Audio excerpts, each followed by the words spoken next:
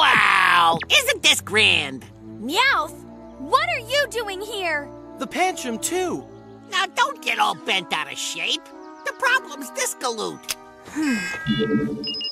Pangoro, the daunting Pokemon, and the evolved form of Pancham. Pangoro has an ornery personality. It holds a bamboo sprig in its mouth, which allows Pangoro to detect surrounding movements. Hey, it looks different again.